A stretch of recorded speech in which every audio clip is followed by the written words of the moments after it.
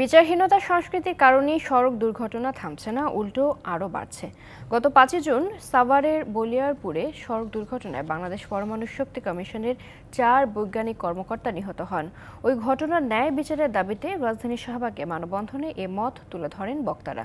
বাস মালিকসহ দোষীদের দ্রুত গ্রেপ্তার ও দৃষ্টান্তমূলক শাস্তির দাবি করেন তারা। বলেন, নিরাপদ সড়ক আইনের কঠোর বাস্তবায়ন নিশ্চিত করতে হবে। দক্ষ চালকের পাশাপাশি হাইওয়েতে পুলিশের নজরদারি বাড়ানোর ওপর গুরুত্ব দেয় নিহত পূজার পরিবার।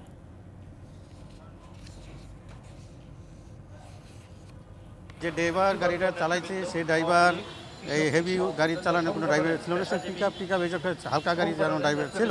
সড়ক দুর্ঘটনা নিয়ন্ত্রণের জন্য যেসব আইন করা হয়েছিল সেগুলো কিন্তু এখন পর্যন্ত বাস্তবায়ন হচ্ছে না।